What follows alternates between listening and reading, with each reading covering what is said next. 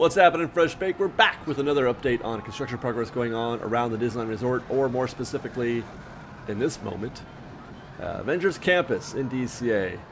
And we'll start, as always, with this bland view of the Spider-Man attraction, which is showing us no progress whatsoever. Uh, but today I thought I would take this opportunity to, to show a little visual history of how these other buildings are evolving, and we'll pause right here to look first at this left side of the screen, the, the Pym I already forgot what they call it. Pimp Food. We're going to look at the pimp Food building, which is this guy right here. And we'll go back. We're going to take this all the way back to January of this year when the tissue box, you can see right there in the corner, if we go back to the original picture, that's the tissue box right there.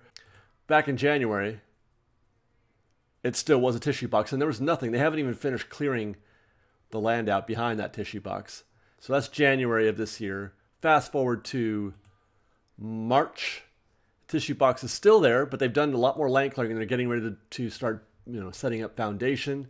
And you'll notice this wall right here, uh, that became very prominent in our in our uh, in our view of this area, trying to figure out what their plans were, and this goes towards or went toward our thoughts about the future of the red car trolley, which we're going to get to in a minute because there's a very important development with regard to the red car trolley, which we'll get to near the end of this video. Uh, but that's March of this year, and then this is uh, July of this year, July 20th. And that wall back there is still there, and you can, there you can see the tissue box as well. Uh, still, I mean, it's it's kind of a, a messy array of things going on there. And then just two months later, today, you've got you know a third of the vertical construction complete. Matter of fact, most of the important vertical construction is done here because it now stands on its own. There's no support being uh, set up anywhere else, so they're just kind of filling out the skeleton, the bones of that building. So that's pretty neat. Continue and slide to the right a little bit. We'll take a look at what is the I, I don't know what else to call this because it's not really an attraction building. This building right here, it's it's going to wind up being the front of the Avengers e-ticket, whatever whatever that winds up being. Uh, and I I don't even really know what this building is going to contain up until the Avengers e-ticket is built. But there you have it. That's the structure you know that they're building now. That's going to have the Quinjet on top of it. Going back all the way to January again, January of this year, just rubble, nothing but rubble and dirt uh, if I recall, I remember noting how you could see this sort of there's like three feet of below grade digging done there, which is pretty fascinating to me. If you if you assume that that's you know that's grade level right there, uh, and then we'll fast forward to March. Pretty neat. They've leveled it all out. All the land clearing's been done. Getting things ready again for uh, foundation work. Then you've and obviously now you've got Mount Gamorra and you can't really see what they're doing back there, but there is foundation work. Those these earth movers in the back there were doing all that foundation work for that structure. You know, we couldn't see anything before, which was you know, we just nothing's happening. Obviously, things were happening, but it just didn't look like anything was happening. And then again, voila, up pops, you know, today, uh, this structure, and that will eventually be the, the the entrance, if you will, maybe not the entrance, something like that, for the Avengers e-ticket. I love doing those. I love doing before and afters. I really do. Uh, and we're going to pause or pan to the right here real quick to see if there's anything happening backstage where they're going to eventually build that e-ticket. And here's a close-up. this is the rest of this is going to be close-ups of the areas that we just observed, just to see if there's anything worthy of note. But uh, it's all pretty busy. Hard to uh, delineate details here. But I do see a lot of progress, and we're going to look at that one next week. A lot of progress on that building in the foreground, which is going to be, I think that's the uh, Spider-Man uh, bot store, whatever. Still a lot of earth movers around there, though, so they're not near done as far as that goes. Do you guys think this will be done by summer of 2020? I'm thinking winter myself. And there again, the Avengers building.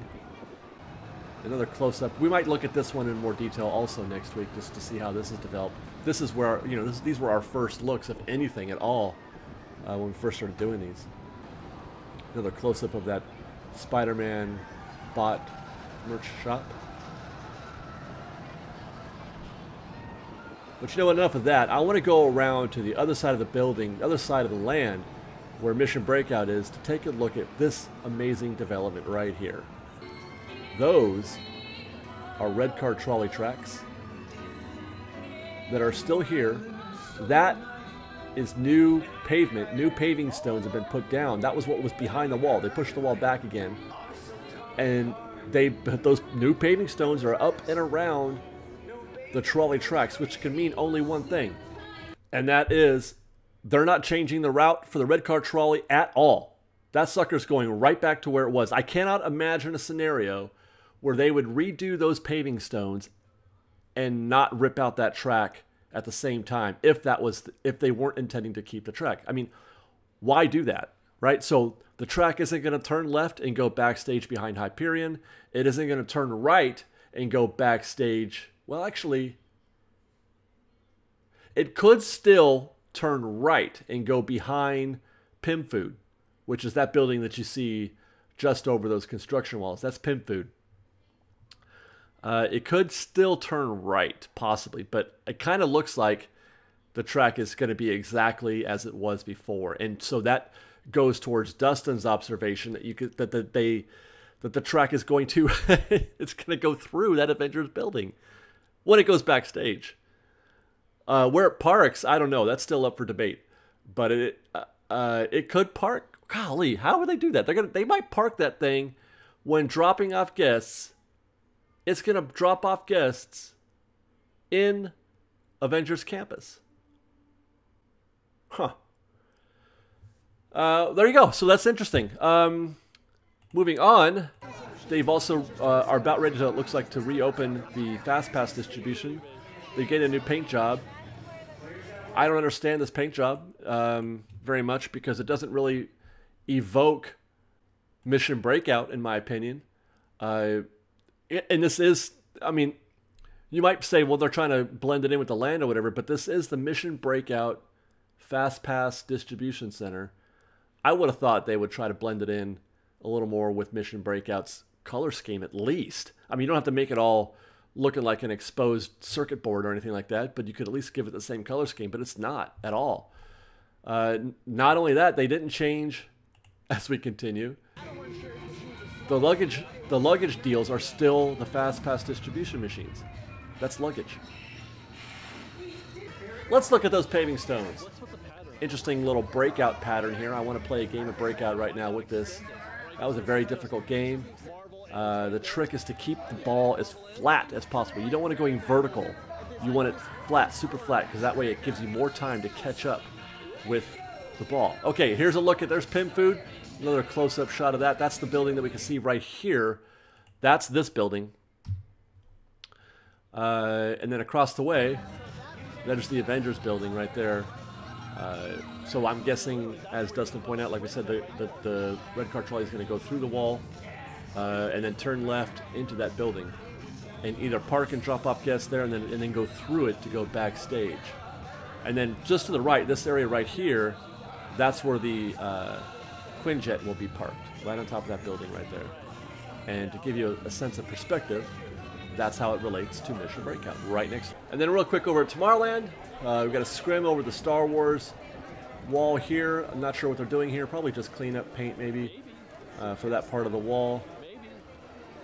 Here's another longer look. I don't really see anything of note occurring. You can't tell.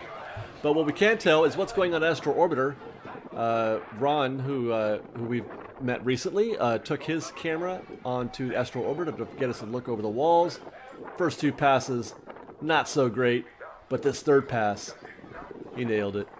So we'll pause right here. Uh, last week, the French fry rocks were still there. This week, French fry rocks are gone. You can see a little bit of the planter left right there. Uh, but those things are gone, and we'll see some paving stones and, and, pavement there in very short order. Still no word on if they're going to put anything else there in their place or if it's just going to be an open entrance. Um, who knows yet? And then we'll continue a little further and pause again real quick. Um, you'll notice two things. The French fry rocks are still gone. that the EER thing building there is still there, and we have no visible idea of what they might do to obscure that yet. And there's also a very handsome man in a green shirt waving at us. Uh, that is your host of Fresh Baked. That's me. Uh, I happened to I happened to catch Ron uh, riding the Astro Orbiter uh, while I was out doing other pickup shots for this week's videos, and I was trying to wave at him, and he didn't see me, but I saw him. So there you go. There's your your uh, your host for the show. And continue and stop again real quick to remind you that those French fry rocks are still there, but uh, expect to see those going away next. Uh, I wonder if they're going to have to. They might have to block all of that whole Pixie Hollow area there. You know, we got to go to Pixie Hollow again one of these days. We haven't been there in a while. All right, and then we're going to wind up at the Toy Story parking lot where I took the camera with me on the bus to just see what we can see. It's very difficult to see anything uh, up close, but look at that. Okay, wait, hold on, we got to pause. This gives us our first idea of what the what the transit or the hub area or whatever it is. They're going to build an area to funnel guests in a much more intuitive way than they presently do at uh, at Toy Story parking lot. You know, for uh, one thing that's it's going to be difficult, or more difficult than the way they do it today, to get guests into one. If you're gonna, because they're gonna do bag check here, and if you're gonna do bag check, then you've got to have sort of a, a finish line or starting line and a finish line, to where you know where guests are not clear and then clear. Uh, and the only way to do that is to get everybody through the same funnel. There's no funnel currently at Toy Story. It's just a random, uh, you know, array of guests. They, there's a there's a queue to get on the bus, but not much beyond that. Uh, all guests are are created equal or considered equal in that sense. So you can see those concrete pillars there are are helping to create some definition. I would imagine that is the bus route. That's telling you don't go here. Uh, stay away from that particular area. And then we'll continue on.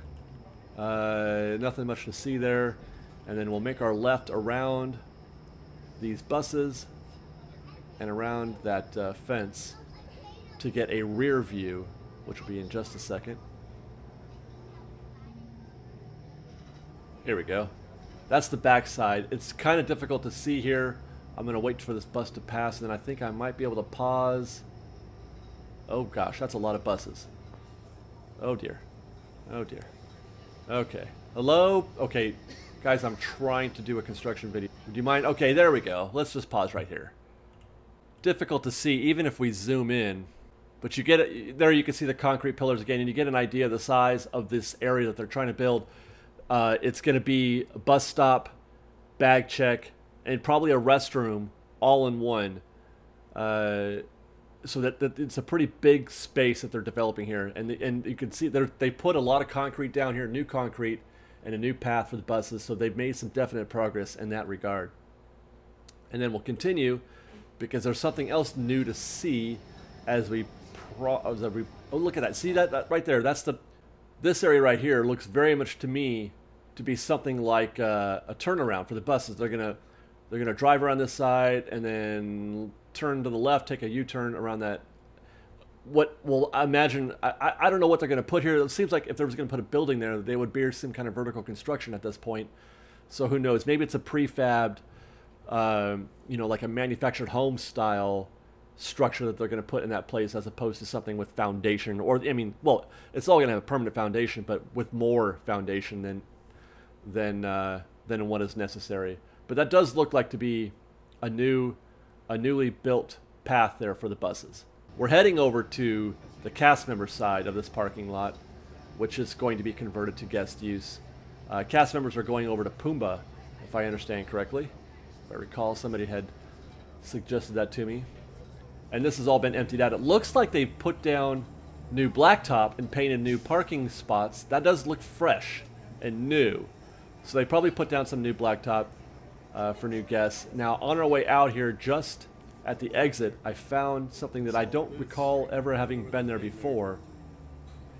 I'm going to go wait a little bit. Let's move down a little bit here. Wow. So you're going to turn immediately right. Right here. Yeah, we'll stop right here because this is a good view of what's going to happen. Right where we, we where we are now is the virtually the, the very entrance to this parking lot from Katella. Uh, this was cast member only before, but it looks to me because this looks like it's been repaved and redrawn. This is all new paint here. Uh, that's new blacktop, and you can see the guests are probably going to turn. See that white arrow right there? Guests are going to make an immediate right turn upon entering this area of the parking parking lot. And if you're going to have them enter here, then they have to pay here. Is my guess. You're not going to make them go all the way around to the harbor side. And so way off in the distance, you can see two new, which I think they're new. I never really, you know, looked at these very closely, uh, this lot very closely before because it was always just cast member. But I don't recall those being there. Why would they need them if it was a cast member lot? But those are two toll booths right there. So guess will be able to park here. Now, the next question is, are they going to have to walk all the way to the because you need i think you can only have the one hub right they're not going to they're, they're going to put everybody i believe into that one guest hub that they're building uh, at the other side so the guests are probably going to have to walk through the parking lot and go to that go to that uh, that bus hub but there you go guys that's our update from the toy story parking lot and from construction progress going on around the disneyland resort I thank you very much for watching. Don't forget to like the video, subscribe to our channel, and tell all your friends to watch Fresh because we have cool construction videos like this. This is cool, right? Or am I just the only one? I said that to, to Liz on the way in. I was really geeking out about those uh, toll booths, and she kind of laughed at me, and and not in a fun way, more of a judgy, you're a dork way. but that's okay. I love her still. Uh, anyway, thanks again for watching, guys. We'll see you next week. Fresh baked. We've got lots more videos for you to see, so grab a churro and check out some of our other videos and have your mind blown by how much fun we're having. We truly are the best of Disney Bake Fresh Daily. Don't forget to subscribe to our channel, and we'll see you next time. Fresh Baked!